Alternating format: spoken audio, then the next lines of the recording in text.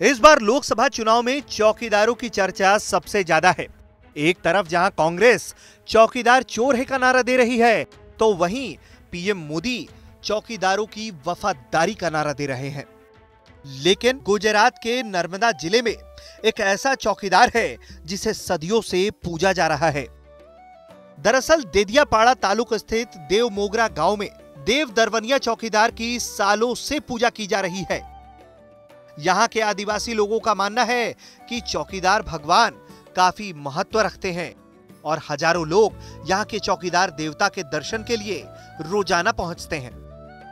कहा जाता है कि चौकीदार देवता का मंदिर इसलिए बनाया गया क्योंकि मंदिर से थोड़ी ही दूर पर आदिवासियों की कुल देवी पंडोरी माता का मंदिर है।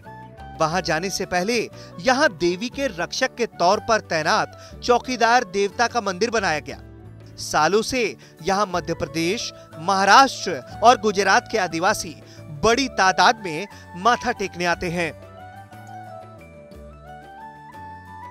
चौकीदार इसलिए कहते हैं कि माता जी का यहाँ से गेट यानी मेन स्थान यहाँ साबित होता है। यहाँ से छुट्टी मांग के आगे जाते हैं दर्शन करने के लिए माता जी के वहाँ पे।